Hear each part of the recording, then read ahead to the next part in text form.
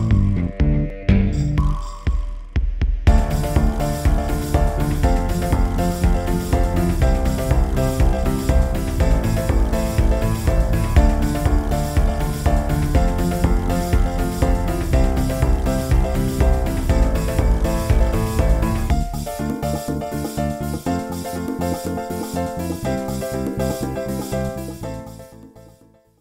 Un saluto amici e ben ritrovati a questa nuova puntata d'Arte 24. Siamo negli studi di Rete Oro per registrare la quinta puntata della rubrica L'arte incontra l'arte.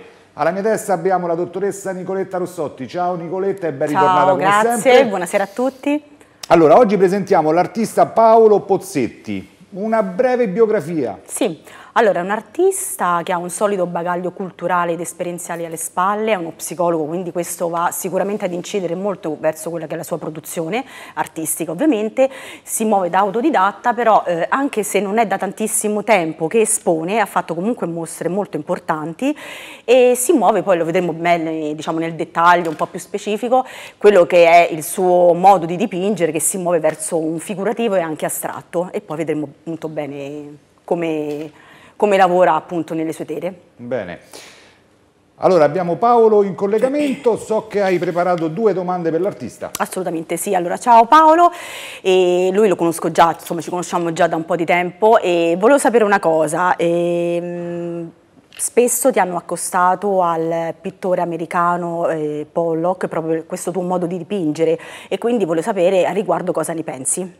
Ciao Daniele, ciao Nicoletta, grazie per l'opportunità e brevemente, anche perché il mio curriculum per quanto ricco ha un uh, lasso di tempo piuttosto uh, breve, appunto. Uh, comincio praticamente il, a esporre 5 anni fa circa, scoperto da una serie di galleristi che vedevano la peculiarità del, di alcune mie eh, opere soprattutto nella modalità di proporre il, il, mio tratto artistico, cosa che inizialmente mi lasciò piuttosto eh, sorpreso perché non avendo io fatto studi di nessun tipo, essendo di autodidatta, la cosa mi sorprese particolarmente. Dopodiché eh, ci fu il MIT eh, fino alla eh, Biennale di Milano devo dire che il mio curriculum artistico forse eh, può portare mh, due episodi parti- oltre la Biennale di Milano come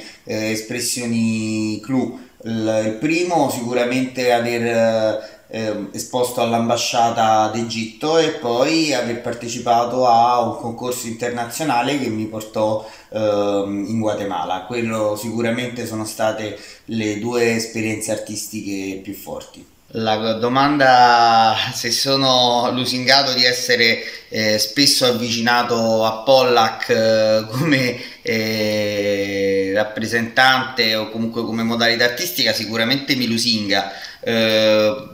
Eh, Sicuramente ci sono degli aspetti a cui ho attinto, uh, sicuramente non, ha, non, penso nemmeno lontanamente di potermi avvicinare all'artista. Uh, sicuramente il, la mia modalità comunque ha subito tre fortissime influenze, uh, Pollack, Troilo e Martoriati italiano nonché la grandissima stima che io provo per eh, un pittore contemporaneo che è Claudio Alicandri, nonché anche eh, di Marco Tamburro. Quindi diciamo che sono tante le cose che in qualche modo vanno ad arricchire il, eh, le mie influenze.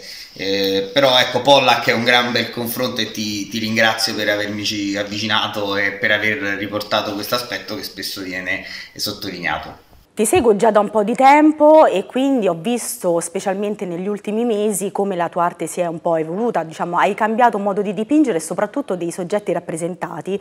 Quindi in, questo, in questa ultima fase possiamo parlare di arte erotica. Cosa ne pensi? Sempre sì, eh, Nicoletta, queste domande eh, sul, sulla trasformazione della mia arte mi, mi, mi rendono particolarmente felice perché vedo che eh, si nota il mio studio. Sì, l'arte figurativa è sicuramente un qualcosa che mi affascina anche se non riprende pienamente il mio stile. E l'arte erotica è sicuramente un campo in cui mi sto eh, cimentando e ultimamente sto provando molto a eh, riuscire a trasmettere quella che è, è secondo me la piaga del secolo, cioè la mancanza del desiderio e l'aumento di una commercializzazione ste- stereotipica del, del, sesso. Quindi il mio studio in questo momento è nella ricerca di una modalità pittorica per riuscire a ripristinare il, la grande forza dell'erotismo e della seduttività. Per me l'arte erotica è riportare quella tensione continua e costante attraverso colori e forme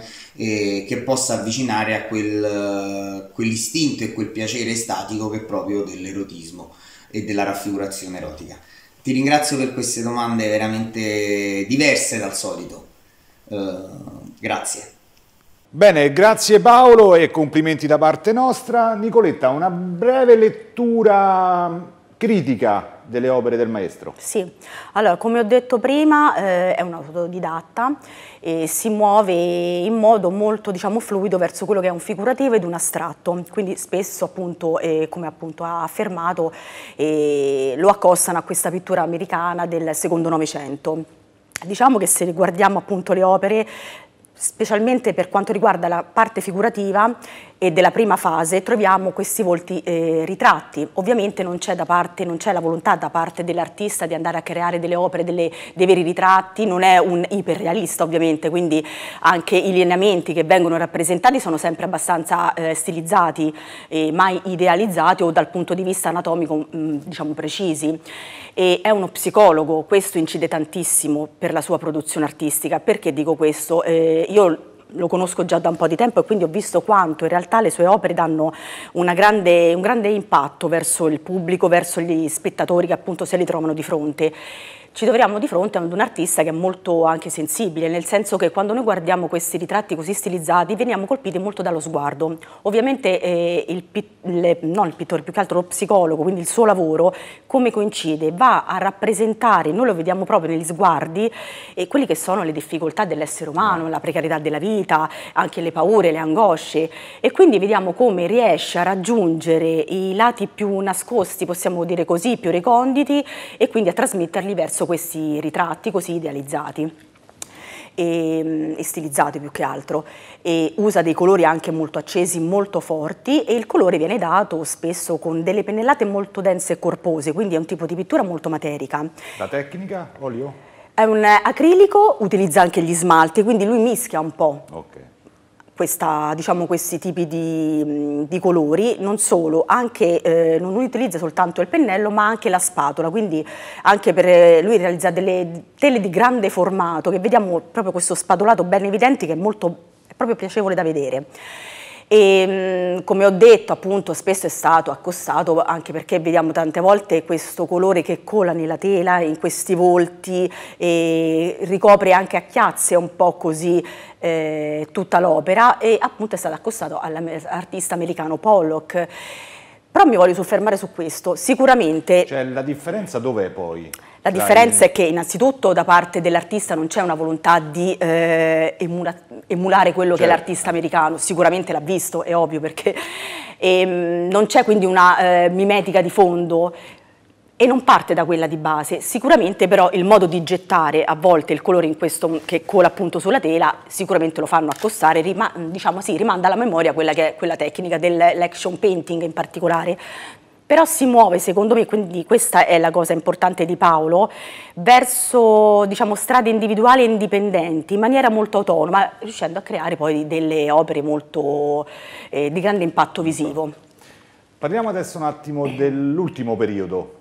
Sì, l'ultimo periodo ha cambiato completamente quelli che sono i soggetti raffigurati, come appunto ha spiegato prima, quindi ci troviamo di fronte a quella che è la pittura erotica, quindi atteggiamenti sessuali molto espliciti, molto evidenti, che poi ho letto una cosa molto particolare tempo fa, no? e quindi qui ci rifacciamo, certo lui ha la mente dello psicologo, una mente analitica, quindi va anche più avanti sì, col pensiero so rispetto a noi. È un'arte di provocazione? Beh, un'arte di provocazione mettere... è comunque lui ci pensa, cioè per lui so, è, mh, alcuni fattori della vita che magari a volte sono per noi tanto anche un tabù o non ne parliamo in modo così diciamo tranquillo, ovviamente lui da, da psicologo ne parla mh, e ne ha una visione molto più completa e, e più mh, serena diciamo così. E quindi ti dicevo che ho letto tempo fa in un articolo che il sesso in una coppia conta il 10%, e uno direbbe poco. Se ci sono i problemi all'interno di una coppia, addirittura conta il 90%. Quindi questo chi lo potrebbe dire? Un artista psicologo che ne coglie quindi quella che è una realtà, la società così multisfaccettata e variegata e quindi le pone eh, nelle sue tele anche quello che è un aspetto comunque che è fondamentale nella vita.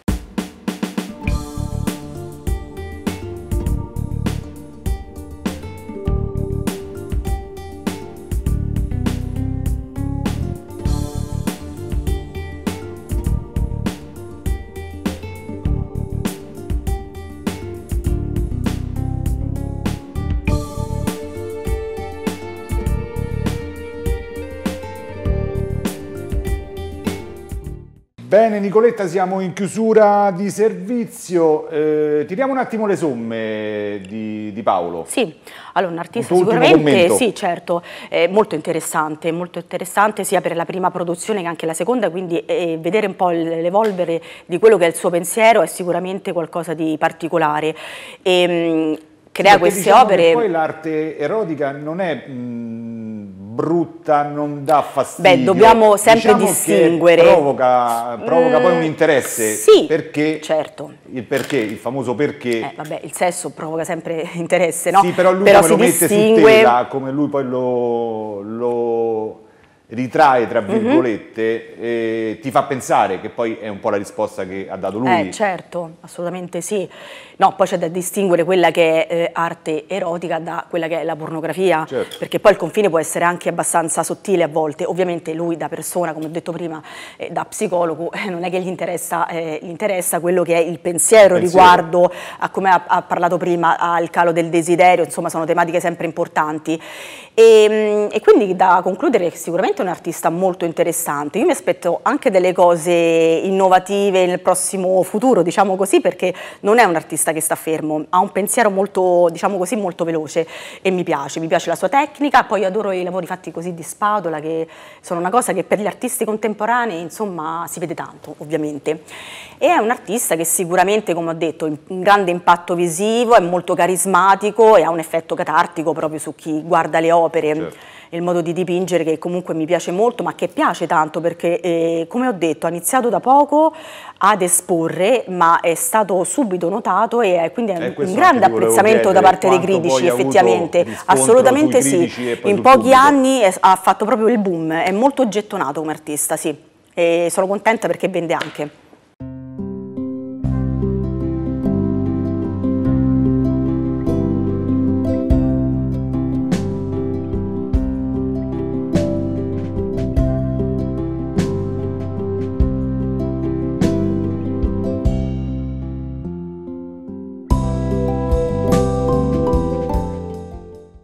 Amici siamo in conclusione di servizio, Nicoletta ancora grazie e sempre complimenti, grazie so che voi, la nostra grazie. rubrica sta avendo un grandissimo successo. Sì.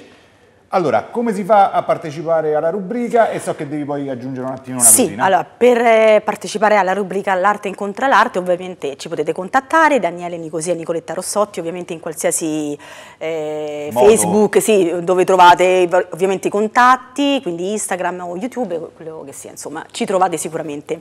È facile, giusto? Sicuramente sì.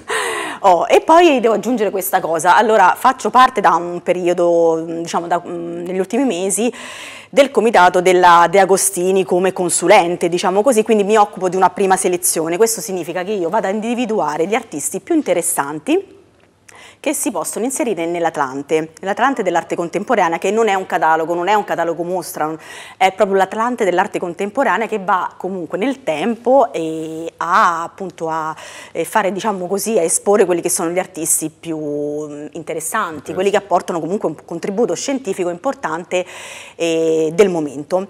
Quindi io mi occupo di questa prima selezione, poi passa tutto al comitato scientifico interno dove abbiamo persone insomma, intellettualmente di calibro, quindi Gianni Dunil, Daniele Radini Tedeschi e la dottoressa Piera Alice e che si occupano ovviamente poi di andare a scegliere effettivamente quelli che possono far parte di questo Atlante. Bene. Quindi se volete potete contattarmi anche per questo, perché le selezioni vanno avanti ancora per un pochino e poi insomma ci fermeremo anche noi, anche okay. con questa cosa. Allora, alla prossima sì. Nicoletta. Sì, io ringrazio Speriamo. tutti voi, noi poi ci rivedremo perché abbiamo anche un altro artista interessante da poter presentare ai nostri amici a casa e quindi alla prossima. Alla prossima. Saluto a tutti. Breve spot e come sempre di nuovo insieme.